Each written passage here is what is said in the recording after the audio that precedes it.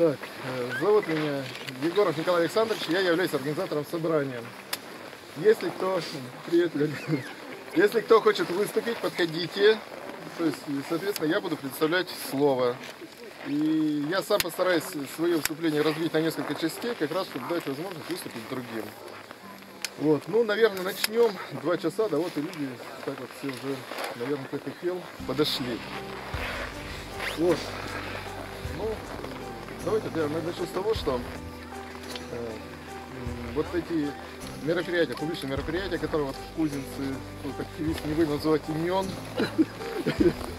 но тем не менее молодцы организовали и уже достигли некоторых результатов, по крайней мере, четкого обещания, что подушка это будет все-таки в какой-то системе работать. Действительно, очень странным образом, когда есть возможность людей доставлять до туда, то есть способ технический, да, и по 2-3 месяца никто им не пользовался, да, вот.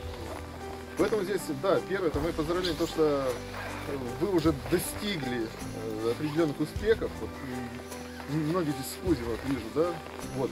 Молодцы те, кто э, не с Кузева, с пришли поддержать, потому что, вот, понимаете, вот, особенно с 2014 года очень часто звучало, что русские своих не бросают. Вот. И вот, э, но такой парадокс произошел, да, что когда касается вот э, жителей заречной стороны, вот те самые люди, которые говорят, что мы своих не бросаем, начинают объяснять, да как-то и, и так проживут, да, то есть, да, что там уже осталось-то, да, то есть вот, вот, вот и все это их э, мерзость на лицемерие, да, вот, э, этих людей. Ну, давайте на положительной ноте, да, м, провести собрание.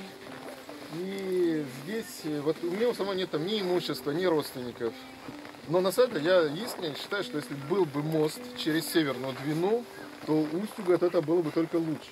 То есть это же вот в Устюге не знают, где предоставить земли под застройку э, молодым семьям, то есть предоставлять в затопляемой зоне, да, Сейчас, ну, Золотавцево, ну там э, район аэропорта, то есть как там дальше пойдет, не знаю. Ну а тут, в общем-то, на сами места, вот Кузин, Арис, это, ну, вообще просто замечательные места. И если был бы мост и пешая доступность, ну, это был бы вообще, может, э, Устюг стал бы развиваться в ту сторону очень бы активно.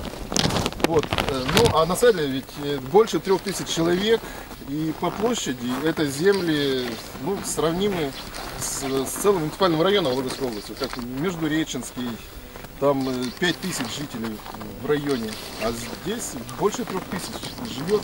Причем от Кузина, если сейчас тысяч, меньше тысячи, это было больше двух тысяч людей еще, ну, 20-15 лет назад. И вот э, э, здесь идут предложения, что давайте мы сейчас э, соберем комиссии, обсудим и все прочее. Нет, это уже все прошли. Потому что э, в 2012-2013 годах э, облстройпроект провел исследование и выбрал вариант через Северную Двину. Вариант. Э, Значит, цена мостовой конструкции самого моста с подъездами к мосту 4 миллиарда. Но если еще продолжать трассу с выходом на э, Архангельскую, там еще, ну, там еще 3 километра эстакады, там больше 10 миллиардов. Но все-таки, чтобы соединить Кузина вот, э, с Устюгом, это 4 миллиарда. 4, ну, в ценах этого года уже 5 миллиардов. Поэтому здесь э, деньги, вот, э, как раз вот я вижу задачу сейчас, ну, рассказать, э, э, потому что, да, вопрос, а, э, в том, откуда деньги, да, что есть ли возможность, есть ли такие деньги, и вот э, как раз поэтапно, то есть сначала начнут с областного бюджета, ну, потом, потом перейдем к федеральному, да. И вот, э, да, для областного бюджета, конечно же, это большие деньги, 4 4-5 миллиардов, э, потому что весь дорожный фонд на год составляет 5,5 миллиардов рублей. Вот. Но тем не менее, э, вот в областном бюджете, э, то есть на госуправление, статья госуправления, э, ежегодно 3,5 миллиарда рублей. То есть если взять зарплаты областных чиновников, только областных, то есть будет без малого 2 миллиарда рублей. И вот, э, соответственно, то есть 4 это миллиарда не какая-то космическая сумма. То есть для, даже для областного бюджета. Э, Вот, к примеру, даже вот на СМИ то есть из областного бюджета ежегодно 160 миллионов рублей на СМИ выделяется. Ну, по сути, на освещение работы э, губернатора, правительства области. То есть законодательное собрание даже это еще идет отдельно, у них своя смета да, расходов. Ну, говорят, э, поддержка муниципальным э, средствам массовой информации оказывается из этих же денег. И нормативные акты. Нормативных актов на 22 миллиона. Вот из 160 миллионов 22 миллиона на публикацию нормативных актов. Все остальное на, ну, извините, на пропаганду. То есть ежегодно. 160. И вот, э, смотрите, здесь очень интересно. Вот, бюджет 2018 года, э, сейчас 18, 19, 20 заложено, вот, э, тем не менее, на мост в Череповце, там тоже стоимость примерно такая же, как и здесь, даже побольше, наверное, будет. Э, Там закладывает в 18-м немного, там 5 миллионов, в 19-м 362 и э, в 20-м 173 миллиона. То есть, тем не менее, опять же, выбор решения, да, вот в Череповце, то есть при всем том, что денег, да, нет, то есть Череповце все-таки начинают этот проект и из областного бюджета без привлечения федерального бюджета. То есть вот э, уже запланировали, ну, полмиллиарда рублей на мост Череповце запланировали. Ну, то есть, тем не менее, вот все, то есть, решение принято, там будут делать, да. А здесь все обсуждение, все по кругу ходит, что а давайте-ка мы еще соберемся, дайте-ка мы еще комиссию, дайте-ка мы еще выберем. Да, выбрали вариант, все. Вариант выбран, то есть вот через северную длину 4, ну пусть 5 миллиардов сейчас, да. Вот. э, Сейчас э, и последний, давайте вот я из областного бюджета 2018 года э, скажу, что вот заложено на три года, на ближайшие три года 900 миллионов рублей на дамбу. Ну вот смотрите, Великосовский район тоже не обойден, да? Но кто людей спросил, как я понимаю, что люди как раз против дамбы. Но вот здесь 900 миллионов нашли, то есть, а вот э, то есть на мост э, постоянно разговор, что нет денег. Э, Вот, но здесь сейчас давайте я вам с удовольствием представлю слово, может кто-то еще сказать, а потом я бы в следующей части, если уже к федеральному бюджету перешел, рассказывать. Что ты пришел? Не, Я просто хотел информацию довести. Вот, э, Да. Являюсь не только городским депутатом, я являюсь помощником депутата ЗАГС собрания Морозова Нико- э, Александра Николаевича, это представитель КПРФ областного. Мы в декабре месяце писали, ну, ну, вернее, написали жители Кузинской стороны э, Морозова Александра Николаевича по поводу моста. Александр Николаевич от фракции КПРФ написал э, везде письма, начиная от президента Госдумы Медведеву и губернатору. Ответы только три получено, все ответы готова область, там ничего такого конкретного не написано. Написано то, что предоставим был рейсовый автобус, несколько маршрутов, потом появилась подушка, и что, как Рябишин Виктор Владимирович говорил, что мост не бесперс- бесперспективен. Вот такие ответы пришли. Ответы мы отдадим, они опубликуются. Как Жители писали, им ответы будут предоставлены. Вот такую информацию Александр Николаевич просил вас завести. Письма получены, ответы вот такие. Можно мне добавить? Да. Не знаю, я вычитала не так давно, может остальные это знают э, информацию о том, что э, у нас будет строиться аэропорт. Но об этом тоже давно говорят, и там вы- выделено, между прочим, э, 900 с чем, 984, если мне не изменяет память, миллионов, да? Из них только 200, там, щ- 20, и как-то так, 224 вроде на, э, как областной бюджет, остальное федеральный, 700 там с чем-то миллионов, федеральный. Ну вот, поэтому наши власти вот нам говорят, что мы нерентабельны, мост наш нерентабелен, то есть не для кого там строить. А тут вот при- прилетит, значит, у нас товарищ Кувшинников, прилетят там несколько, может быть, еще э, чиновников, плюс, скажем, туристы. Сегодня один, завтра другой, завтра третий, ну так, то условно. А мы постоянно нуждающиеся в мосте остаем- остаемся без всего, потому что для нас денег нет. Мы не рентабельны. Тут, не знаю, рентабельность, по-моему, зашкаливает. Ну, вот. Кроме этого, мы говорили, тогда упоминали, вот э, Тамара Александровна говорила о том, что э, деньги в стране есть, надо их перераспределить, и все. Это э, как бы вот такой момент. И последнее, можно что подчеркнуть, в принципе, эта проблема не нова, поднималась она перед каждыми выборами, считай, что. И я думаю, что просто наши власти, вот они сейчас, почти месяц прошел с, с того митинга с нашего, они не соизволили к нам никаким образом прийти, сказать что-то, объяснить людям. То есть, по-моему, у них нет желания просто с нами общаться. Или они нас боятся, вообще я не знаю, как тут э, судить. Но я думаю, что останавливаться не стоит, надо все равно изыскивать возможности. И если не хотят, то заставить их сделать то, что нужно в первую очередь людям. Потому что мы тоже живые люди, мы тоже хотим жить не хуже, чем они. И еще кто-то хочет выступить? Я вот думаю насчет объединения. Если ситуация не изменится в умах людей, в народе, вот позволили сожрать Красавина, исчезнет город, нет работы, не добьемся моста, Кузинская сторона вымрет, это реально. Но следующим за Кузином будет город. Он останется, он окажется такой же заречной стороной для Вологды, как сейчас Кузина, мы для Устюга. Вот это я хотела бы, чтобы люди поняли. Вот такие же будем нерентабельны. Весь Устюг. Потому что родина Деда Мороза, она не спасет Устюг. Не спасет, нет производства. Да, вы очень правильно подметили, что действительно так это оно и происходит. Да, сначала маленькие деревеньки, потом деревни покрупнее, то есть ну, вот свидетели того, что происходит. Э, даль- Дальше уже очередь городов небольших. И все. Причем очень-очень странно, что находит поддержку, вот когда вот здесь же в Устюге такое чувство, а давайте мы всех вывезем оттуда, да, и какие-то предложения, или, или всем по 16 тысяч рублей раздадим и забудем эту тему, да, ну, ну это, ну, совершенно, да, неприемлемая позиция, да. Наша сторона потому и нерентабельна, что нет моста. Да, конечно. не хочет ехать туда. Все бы это, наоборот, развивалось бы, да. Замечательные места, замечательные люди, да. Это же и туризм можно. Все на свете. У нас такие красивые. На нашей стороне Да. около 20 буров. Раньше люди помнили. По сравнению с тем, что здесь находится. Здесь какое будет. Ну, а сейчас позвольте, знаете, вот перейти, да, областной бюджет по сравнению с федеральным, конечно же, это ну, капля в море. Вот, федеральный бюджет у нас э, в целом это 15 триллионов рублей. Э, И здесь вот э, можно, конечно же, считать уже там не миллиардах рублей, да, а чтобы легче было воспринимать, в мостах. Вот мы считаем, мост 4-5 миллиардов, стоимость моста. И вот на что из федерального бюджета тратятся деньги?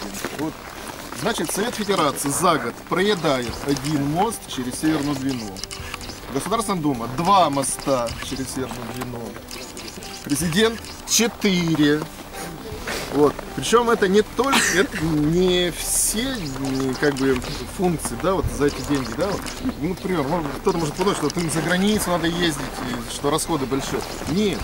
Вот международное сотрудничество идет отдельной строкой 230 миллиардов.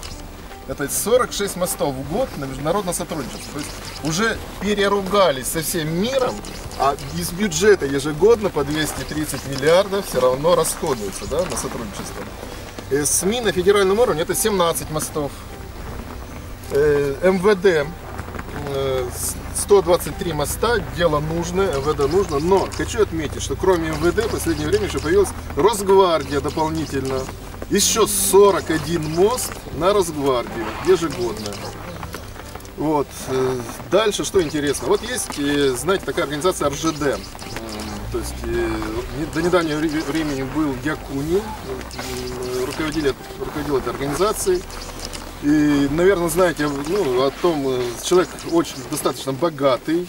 То есть термин шубохранилище э, пошло с него, что у него там в его замках, дворцах, то есть отдельная комната, ну, то есть где только шубы хранятся, да, там вот. Вот. Так вот, э, РЖД не бедная организация, вы также сами все видите, да? Э, и в бюджете 2018 на 2018 год, в федеральном бюджете, предусмотрено на 9 мостов субсидии РЖД. То есть вот 9 мостов через реку Северная Двина. Э, Дальше, многие, э, думаю, вот здесь уж точно все, все слышали, что мост в Крым стоит 240-250 миллиардов, да? На самом деле, госпрограмма социально-экономическое развитие Республики Крым и города Севастополь до 2020 года 791 миллиард. То есть не не две- 240 это мост, а там и прочие еще расходы. Из них, вот смотрите, если опять же в мостах считают, 73 моста уже израсходовано на эту программу. И 105 пред- э, предполагается израсходовать в ближайшие, в ближайшие три года. Вот, ну, э, давайте другую программу федеральный бюджет как раз можно читать бесконечно, то есть и очень много интересного там, да. Вот. Но я давайте вот еще одну госпрограмму коснусь с названием «Экономическое развитие и инновационная экономика 2013-2020 год». То есть там уже 118 мостов уже потрачено, уже израсходовано денег на 118 мостов через Северную Двину и 59 еще планируется потратить. И что она из себя представляет? Вот я только начну. Ожидаемые результаты это увеличение доли среднесписочной численности работников, занятых на микро, малых и средних предприятиях и у индивидуальных предприятий, предпринимателей.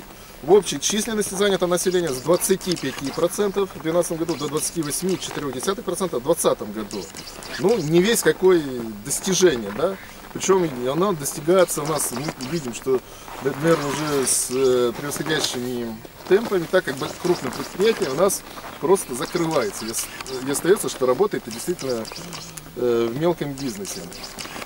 Дальше, следующее. Повышение позиции Российской Федерации в рейтинге Всемирного банка ведения бизнеса со 120 места в 2012 году до 20 места в 2016 году. Ну, здесь э, за последние годы по оттоку капитала из нашей страны видно, что мы со 120 места скатились уже в самый конец списка. То есть у нас не, не то, что кто-то приходит с инновациями, да, то есть наоборот, кто, у кого уже все здесь отлажено, уезжает, все бросают и уезжают. Следующий пункт. Повышение уровня удовлетворенности граждан Российской Федерации качеством предоставления государственных и муниципальных услуг в 2016 году не менее 90%. То есть вот муниципальными услугами удовлетворены вот, э, то есть э, тем, что вот, э, приходится обращаться в органы власти за каким-то вопросам, да. То есть, ну, по моей оценке, что как раз 90% не удовлетворены. А, а, а здесь, ну, может и больше, да. А здесь, считаю, вот к 2018 году, что не менее 90% должно быть э, нас удовлетворено, э, ну, по сути, муниципальной и государственной властью, да. Вот, но есть следующий, совсем там э, э, мало понятно, но дочитаю все равно, что увеличение доли организаций, осуществляющих технологические инновации в общем числе организаций, с 9% до 11% в 2020 году. Ну, то есть э, новые технологии. То есть вот за эти годы ну, жизнь на месте не стоит, она само собой, новая технология, не то, что на 2% будет увеличиться, она должна увеличиться в разы. Ну и из федерального бюджета последнее, это вот э, есть такая статья, мероприятия, осуществляемые на основании отдельных решений президента. Вот вы посылали письмо президенту. Три с половиной, ну, ну практически все, все, все зареченцы, да, подписались, больше трех тысяч подписей. И что оттуда пришло? Оттуда пришло на, на место. Окончательного ответа правительство области еще не, не дало. Нет? Министерство транспорта Ми- Министерство и транспорта. хозяйства они дали ответ. Э, То есть ничего обнадеживающего. Сказали, что будут рассматриваться Будут рассматривать, варианты да? строительства моста, да, и выберут наиболее оптимальный для, для жителей, но хотелось бы, чтобы жители в этом участвовали. Ну, снова выбор варианта, да, опять звучит. Так нет, здесь надо говорить, что уже выбран вариант. Уже 3 миллиона бюджетных денег потрачено. В 2012-2013 году вот этой областного бюджета денег, субсидия была району выделена, район заказал, сделали обследование, выбрали вариант через Северную Двину мост. Вот. Но на самом деле президент вот мог вот на 18 году, в 18 году это у него денег в таком вот распоряжении отдель- по отдельному решению 16 мостов, таких как через Двину. В 19 38, а в 20 46. То есть вот э, на самом деле, если вот было бы желание э, как бы э, помочь, то есть решить эту проблему, да, то это решается очень легко, да. То есть буквально каждую неделю президент нас может давать распоряжение по строительству такого моста. Но тем не менее отправляется Министерство транспорта, отправляется правительство области.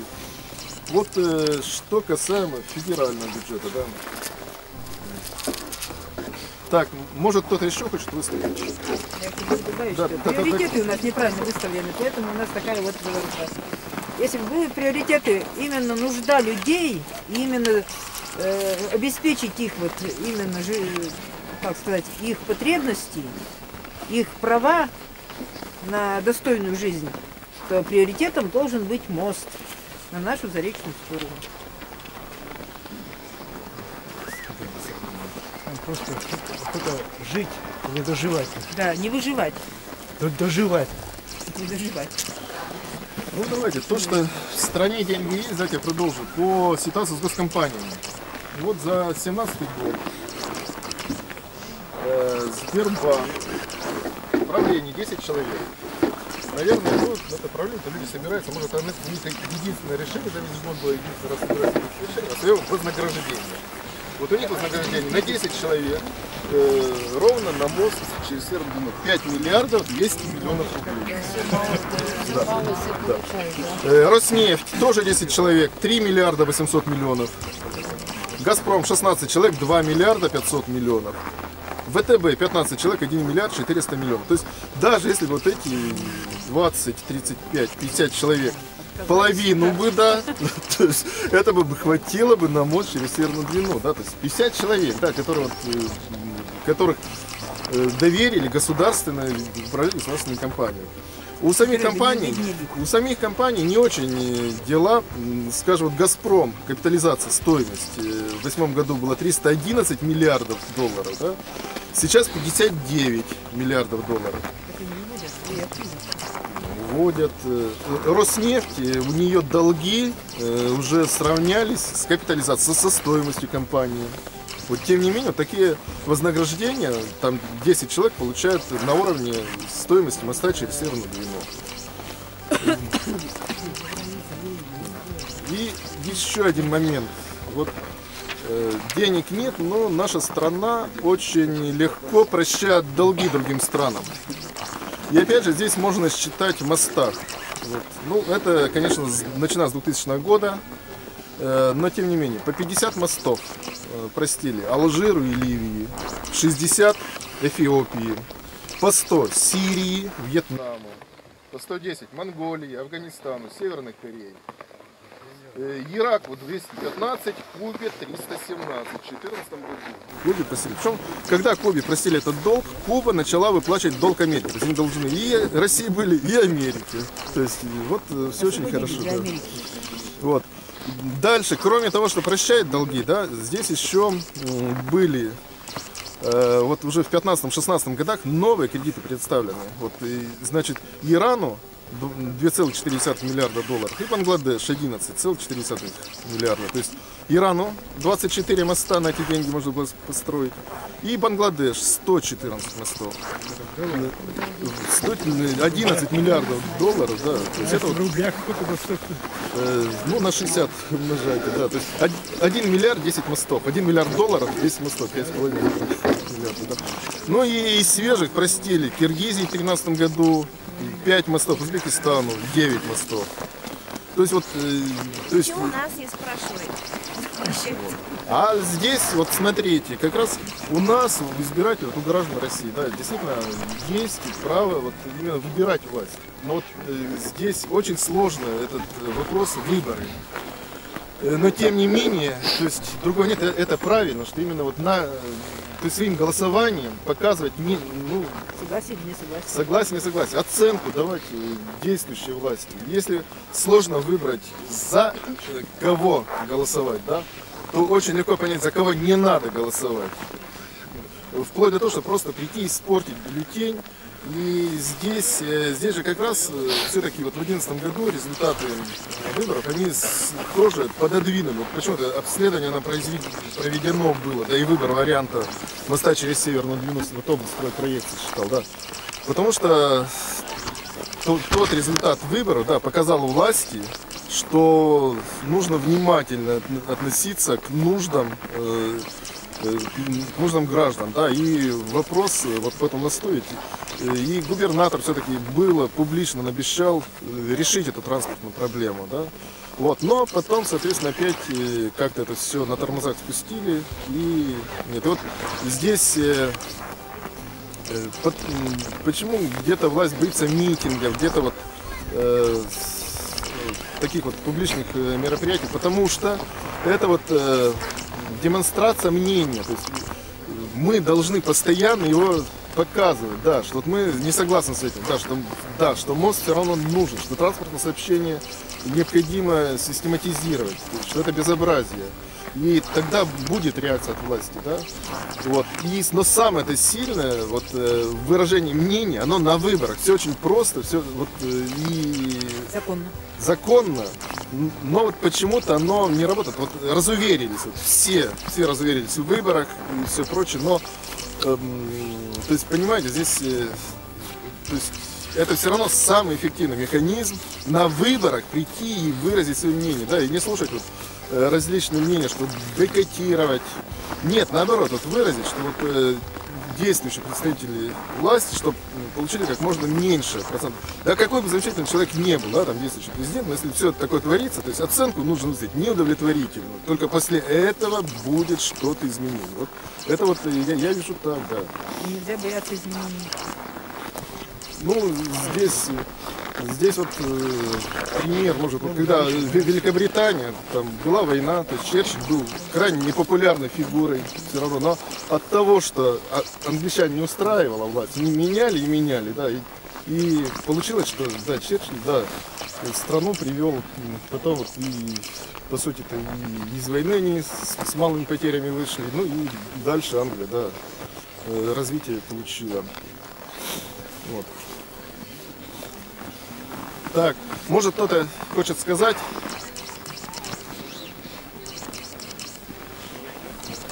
Ну, тогда давайте я э, из своего выступления последнее, да.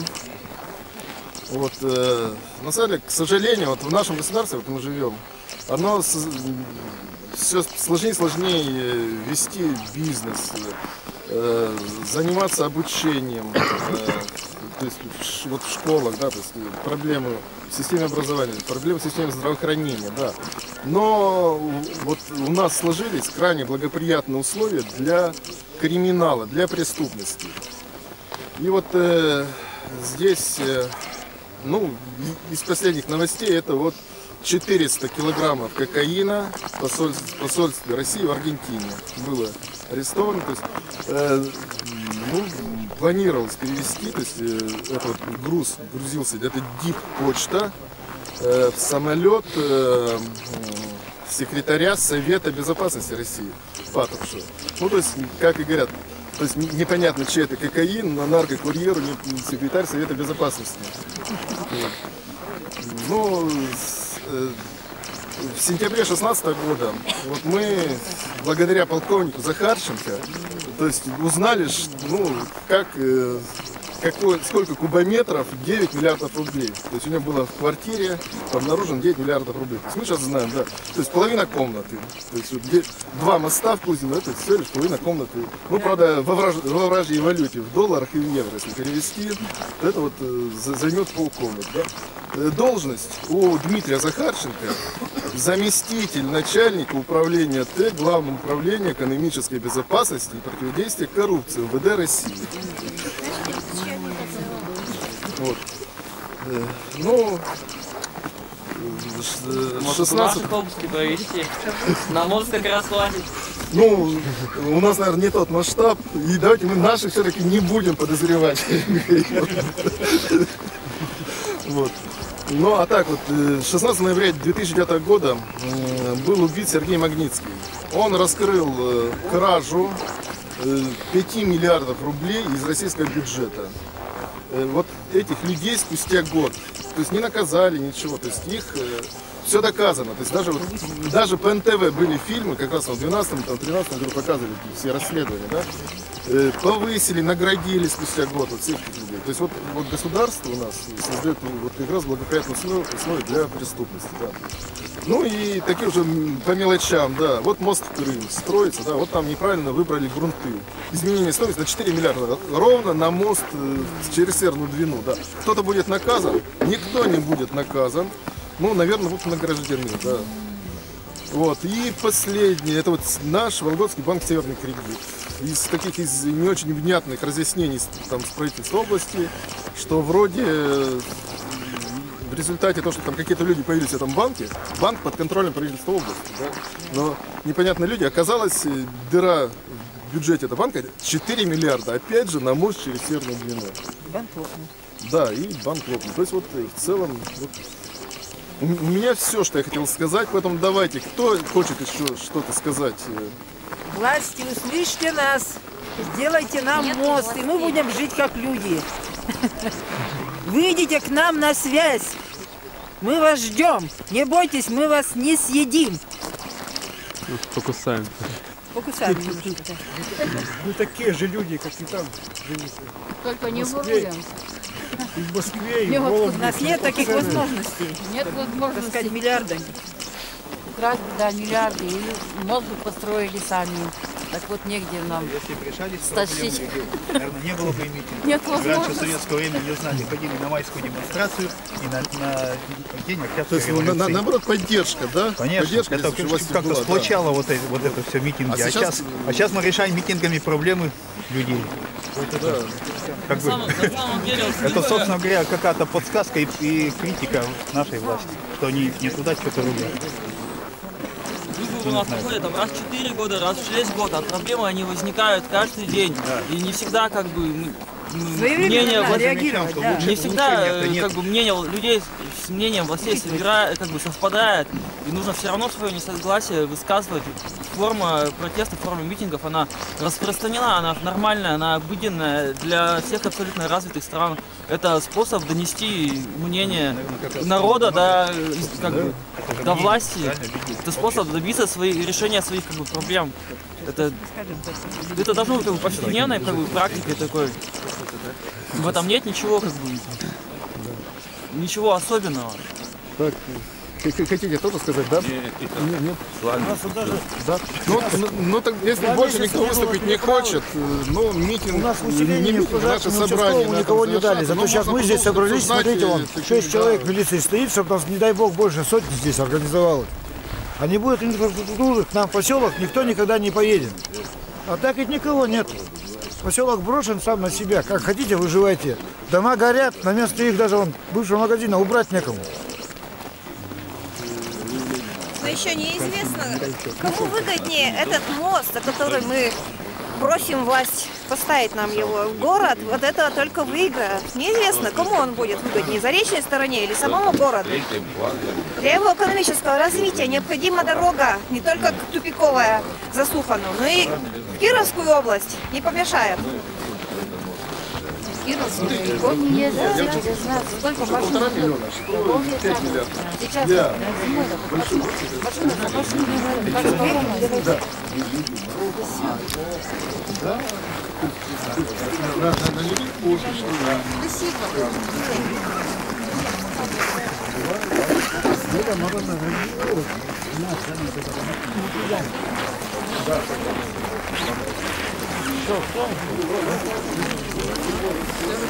Я думаю, не в последний раз собрались. Нет, конечно. Еще Будем бороться. Пока лед есть, так можем прийти, а потом уже неизвестно, что будет. Только народу на, на подушке нас это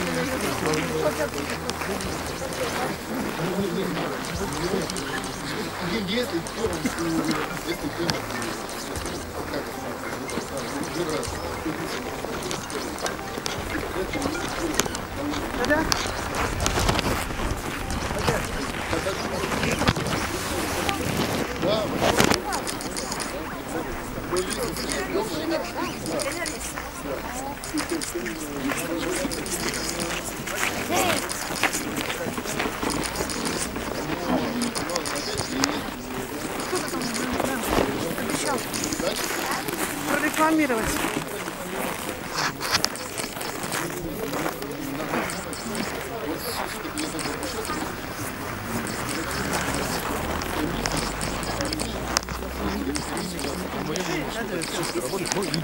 Вдруг не будет. Не,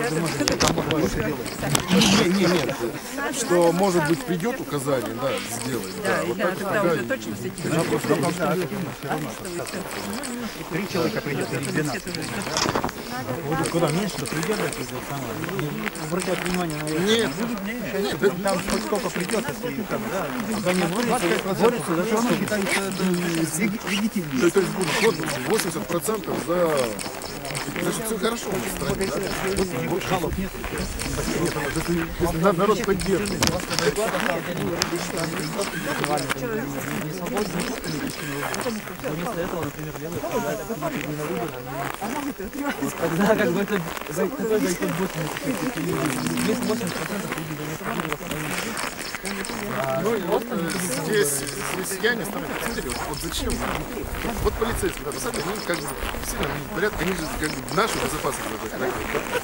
Навальный постоянно какие-то конфликты провоцирует. Вот, то есть вот зачем нам вот идти с ребятами, да, там какие- какие-то вот провоцировать конфликты, да? То есть мы же, если уж драться, то будем, да, вот такие простые, то есть ты простой парень с другим простым парнем в форме, да, и кому это надо?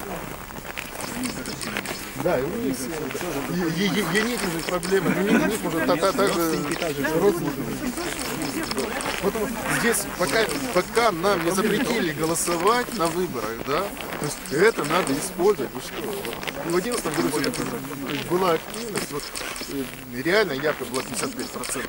И уже, да, да, может даже когда и были какие-то, были фальсификации, были на отдельных участках, в 11, но тем не менее, все равно не смогли дать перебить. А приходит 30-40%, да, тогда как раз бюджетников, ну извините, вот, подневольных там э, учителей, Я не помню, в каком году, даже статистика была, 6% всего лишь было активно, 27 более-менее их, а остальная была полностью.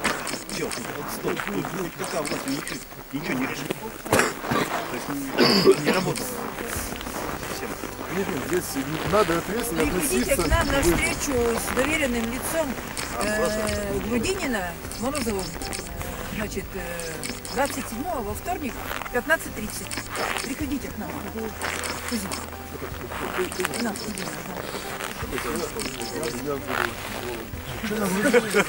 много наговаривают.